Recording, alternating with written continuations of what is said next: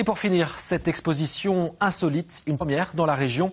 Certains jardins nous font du sport, d'autres s'adonnent au Lego. Et pourtant, ils sont sortis depuis bien longtemps de l'enfance. Leur création était à voir ce week-end à côté de Reims. Marilyn Fournier, Yves-Olivier Hébé.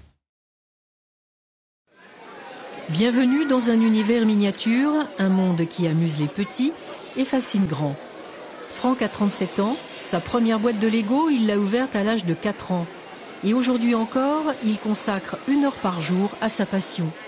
Imaginer, monter, démonter des villes entières, pour lui, ça n'a rien à voir avec les jeux vidéo. Le Lego amène le, comment, le toucher, le tactile, l'imagination. On, est dans, crée on est dans la création.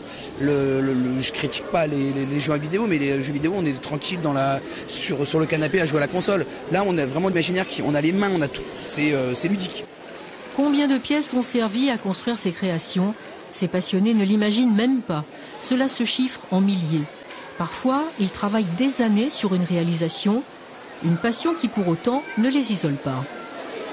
C'est euh, très agréable parce que ça me permet d'avoir une relation complémentaire avec mes enfants.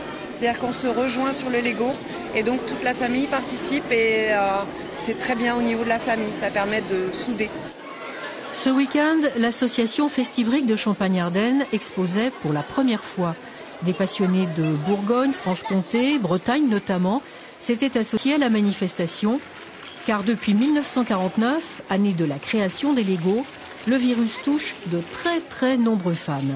Et la passion se transmet d'ailleurs de génération en génération. Franck Hollanda l'a déjà transmise à son fils.